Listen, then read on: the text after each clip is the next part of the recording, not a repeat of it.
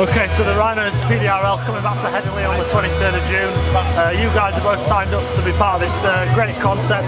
So what got you involved in this game?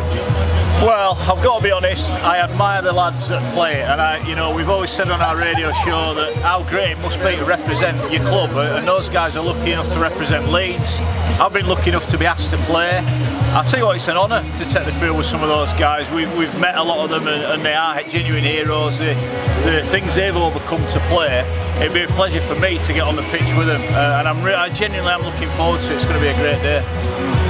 Yeah, to see, as, Mark, as mentioned, you know, they, they, these guys are proper heroes, aren't they? And uh, we'll either show what, what they want to do. They want to be, as, as, we know with the discipline what they've got, they still want to play this great game of rugby league and they want to be part of this magnificent stadium. And when I when I, when I was got told about it that Mark Wilson had signed up and that he was playing for Leeds, the, the Leeds club who he rips into every Monday night, and I'm absolutely delighted that he's got the show on here. And I must say, I confessed I wanted to play for Warrington because I wanted to rip into him. But anyway, it's now here. I haven't put the Leeds shirt on since I left here in '96, and I tell you what, I can't wait to be on the field with them heroes come the 23rd of this month. And uh, a self-confessed Bradford fan, it's going to be a bit odd for you to put a Rhino shirt on, but it's bigger than that. It's all about getting involved involved in this new concept, which is you know great for so many people who thought they'd never play rugby again. Oh, exactly right. You know, it's going to be an honour. It's going to be. I mean, he's done it. He's done it hundreds of times. I've never had that that privilege, and it, look, it'll be a special moment.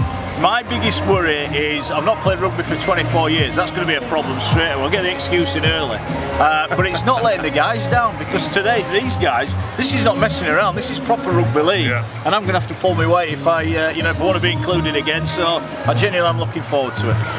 And um, obviously this game is part of uh, you know, a, whole day of fundraising for the concept. So all yeah. the donations on the gate are going to go back towards it. So what's your message to people who maybe not seen a game before, want to come down and, and get involved? Oh, just get down and support these guys, you know, because and, and I say the uh, you know they can't do everything what, what, what they want to be doing in everyday life. So, but this is the enjoyment what they get. Also, too, it might be a bit of frustration what they want to get out as well from there. But it's going to be enjoyment. You'll see a smile on everybody's faces come down and support and really see some proper heroes on this great rugby league pitch. Yeah, get along, come and support the guys wearing the Leeds shirt and also the Warrington boys as well.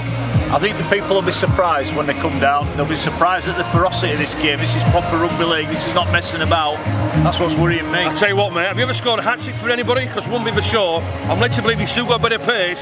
Get yourself outside the Who legend. I'll, I'll, put you, Richard Shaw right, and Phil Caplan telling me you've looked pretty good on the uh, on the treadmill. So with the show, stand outside the legend, and I'll put you through for a hat trick on the, the, the, the, lovely turf here at Eddingley.